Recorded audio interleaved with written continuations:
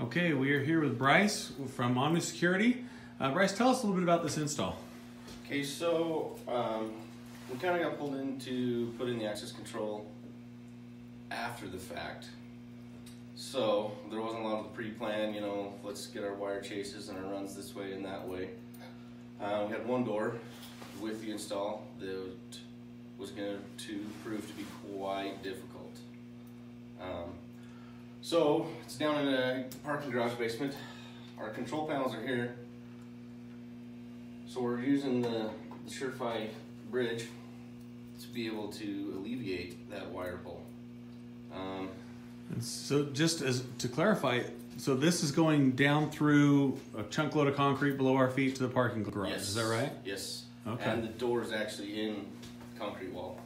Okay, so we, we'll go down there a little bit in, in a few minutes and, and take a look at that. So, what would you have done had we not had a Sure-Fi unit available? And what, what, what would you have to do to get that down there? Well, I would have had to chase through these conduits that were already used. Um, they actually go clear to the other end of the building before they drop through the floor to have to come all the way back, along with adding a whole bunch of conduit because it's all concrete and nothing could have so done a whole bunch of conduit work. So, ballpark, how much time and or money would that have cost you? You know, probably a thousand bucks in two days. It would have been two days, two extra days, and just getting our wires to the location we needed to be. Yeah, that's a huge savings. All right, well, let's head downstairs. Is that Tell all us- Tell us what's going on down here. So as you can see, we came down level, um, concrete everywhere. Yeah, there is not a good way here, is there? You know, there's already conduit to do everything else electrically down here, because nothing, was- I mean, they just kind of didn't have the thought to do it beforehand. So here's the door I needed to get to. So what we went, went ahead and done, I can't reach it all. So the other end of the Sure-Fi remote is actually inside, we mounted inside this can, you know, to kind of give it more aesthetics of, Yeah, is that a metal box?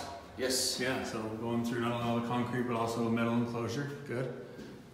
Anyway, so that was able to get us there, so now the only wires I needed to run were from here to the door unit. And it's just got a mag lock right there, right? Yes. Okay. Excellent interior door application. All right, so you've installed quite a few Sure-Fi units, at least a few, right? Uh, what is your impression? I like it. It's simple to use. Simple to use and cost effective. And I mean, this was a huge problem. I'm going, what am I doing? Not a problem anymore. Awesome. Hey, Bryce, thank you so much. Yep.